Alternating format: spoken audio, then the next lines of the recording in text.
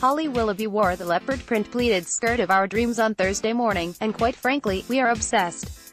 The 37-year-old stepped out in a glam red crew neck jumper by the Duchess of Sussex's favorite high street store J. Crew, and the leopard print number was from Warehouse and priced at £49.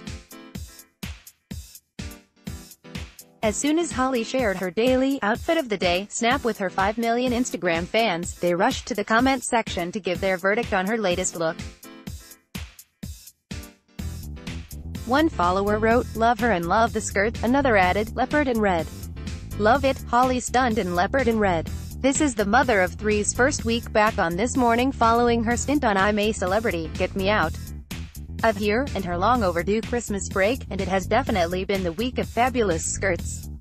49 pounds, warehouse on Monday, Holly kicked off the new year wearing a stunning, paisley printed number by Reiss which cost 155 pounds. On Wednesday, she wore a stylish separate yet again, this time in the form of a sumptuous nude suede pencil skirt by Karen Millen which cost 350 pounds.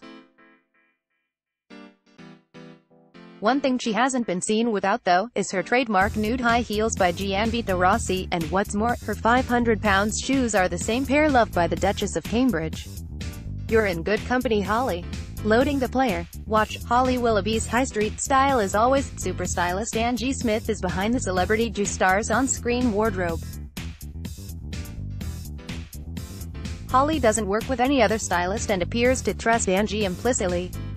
She even credits Angie in introducing her to trousers.